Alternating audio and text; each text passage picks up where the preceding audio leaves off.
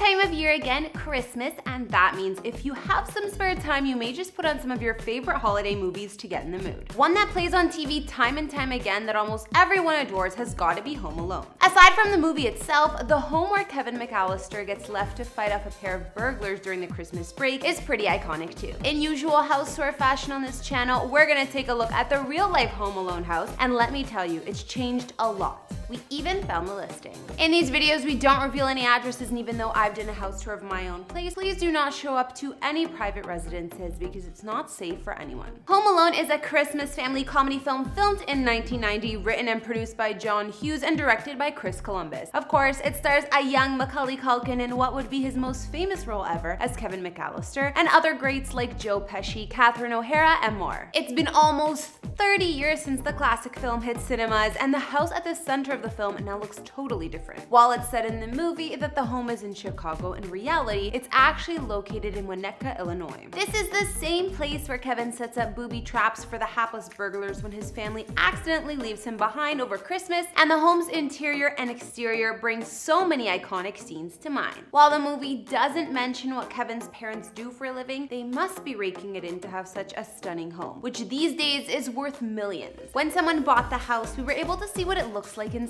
these days. Hey guys, it's Kara. Today we're bringing you another house tour here on Famous Entertainment, but in honor of Christmas time, we're gonna check out a special house we all know and love, the Home Alone house. Be sure to hit that subscribe button and ring that bell. We post a new video daily. Don't forget to follow me on Instagram to chat, and as usual, let me know whose house tour is next in those comments down below. Now let's take a look at the Home Alone house then and now, but warning fellow Christmas lovers, it's a lot less festive.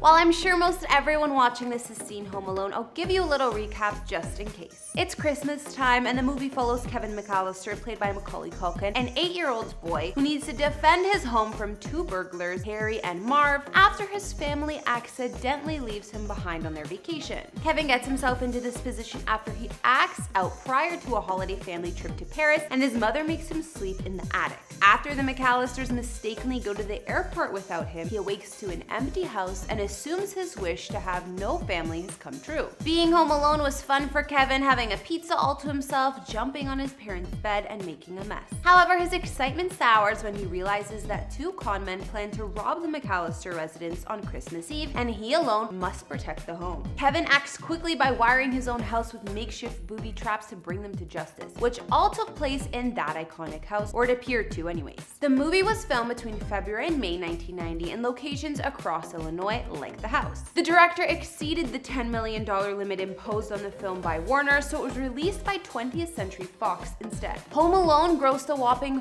$476.7 million and held the record for highest grossing live action comedy ever up until 2011. It even spawned a successful film franchise starting with the sequel in 1992, Home Alone 2 Lost in New York, which is the only installment to have most of the original cast return. Now let's take a look at the famous Home Alone house. So yes, this house is a real place, but it's located in Winnetka, Illinois, not Chicago like the movie. Winnetka is a North Shore village, which is 60 miles north of downtown Chicago. Hughes also filmed his other movies like The Breakfast Club, Ferris Bueller's Day Off, 16 Candles, Uncle Buck, and more here too. Apparently, the only interiors of the home used for filming the movie were the main staircase, basement, attic, and most of the first floor landing, while all other rooms of the house were duplicated on a soundstage to allow more room for equipment and crew. The treehouse in the backyard was built specifically for the film and dismantled after filming was over, while the park where Kevin runs away from Marley and was shot at Hubbard Woods Park. In 2012, a new owner reportedly paid over $1.5 million for the Home Alone house, which is a red brick Georgian with three floors and located very close to Lake Michigan. Home is stately and charming to say the least, sitting on a 0.53 acre lot and spanning more than 4,200 square feet inside. The house was built in 1920, originally belonging to John and Cynthia Abendshien, and the couple couple hadn't owned it long at all when the production company approached them about transforming their home into a production set. Director Chris Columbus later said that finding a residence to fit his vision was a tough task, explaining, We needed to cast a house that would work for the stunts and also a house that was visually appealing, and if this makes sense, warm and menacing at the same time. It's the kind of house if you were a kid, it would be fun to be left home alone. I wanted it to feel timeless. This home fit the bill and then some, boasting 5 beds, 3.5 baths, and apparently a 4-room master suite which spans the entire west wing of the home. As you might remember from the film, when you enter the house, the legendary staircase welcomes guests. The classic paint bucket scene took place on these stairs. It was one of Kevin's best traps. As Harry and Marv reach the top of the stairs, the tripwire sends them flying.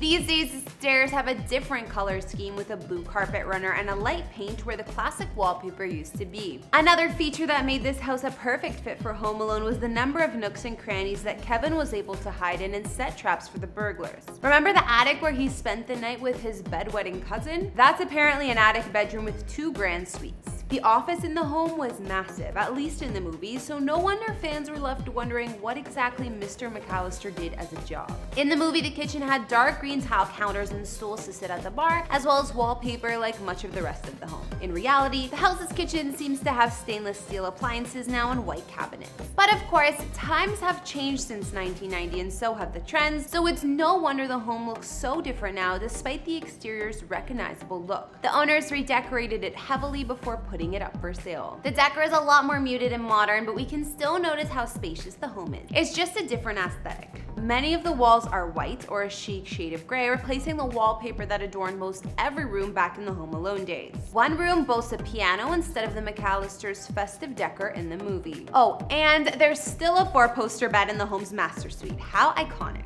As of last year, it was said that a Home Alone remake is in the works, but this time a large part of it was shot right here in Canada. Well, not right here in Toronto, but apparently in the Montreal area, which is known for its idyllic snow-heavy cold season, creating a perfect Christmas vibe for the movie. The producers haven't revealed many details about the filming locations, but we do know that a house in the popular suburb of Longueuil, about 15 minutes from downtown Montreal, plays a big part in the new movie. Guess we'll see if that's true. Alright, I think I'll bring this Christmas house tour to an end right there. We've taken a look at the Home Alone house in Illinois, and honestly, I gotta say, it's as nice or nicer than I expected. Even with all the changes and upgrades, Home Alone fans will remember the residence as the house of the McAllisters, filled with red and green furnishings, charm, character, and over-the-top Christmas decorations. At least, I know I will. And honestly, imagine how nice this home looks when there's snow outside. So charming. I can see why the director chose it. Let me know in the comments what you guys thought about the Home Alone house. What was your favorite part? I love the iconic staircase and the master suite. I just feel those parts of the home are so classic. Be sure to tell me what you're up to for the holidays and if you head on over to my personal channel, I've got a Christmas vlog as well. Thanks for tuning in. Merry Christmas, Happy Holidays, and don't forget to follow me on Instagram. I'll see you all in the next video.